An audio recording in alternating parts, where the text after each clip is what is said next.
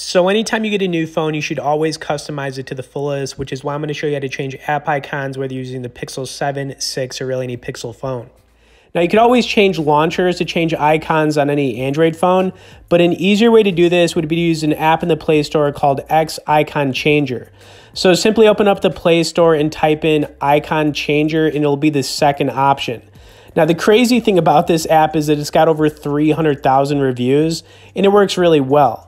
The only downside using it is you're gonna have to deal with a couple ad pop-ups, but you know, it's still really good.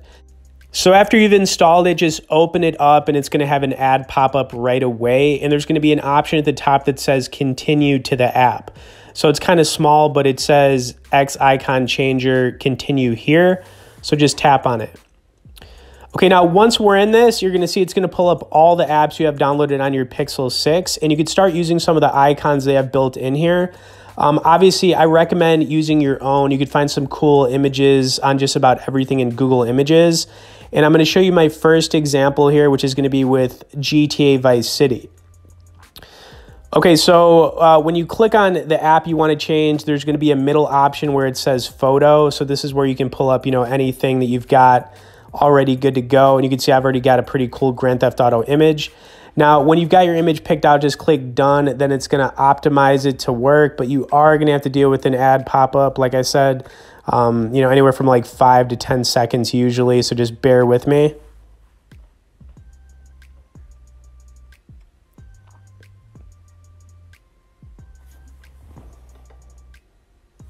Okay, so now I'm going to exit out. Okay, now it's going to ask us to add it to the home screen. Okay, yeah, it just popped up right there. Okay, cool. And now when you use these app icons that you've created, you could click on them and it's going to load up whatever you're trying to load up. You see right there, it worked perfectly. Okay, so I'm going to do another example here. I'm going to do Marvel Contest of Champions. I've got a cool like Marvel, uh, you know, icon we're going to use. Also, if you have any questions about doing this, feel free to message me below in the comments. I will say this app does have a paid option, but, you know, honestly, I don't recommend using the paid option. You could just use the free. It's pretty cool. Check out that Iron Man right there.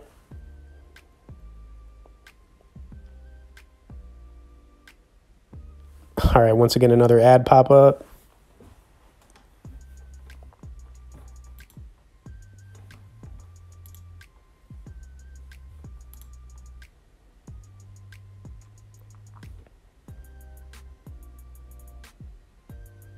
All right, head to home screen. All right, and boom, right there. Check out that Iron Man. Okay, so you could also customize the apps if you want them to be like rounded or however you want them to look on your home screen. But yeah, I mean, it's this is a really cool uh, way to customize some app icons. on.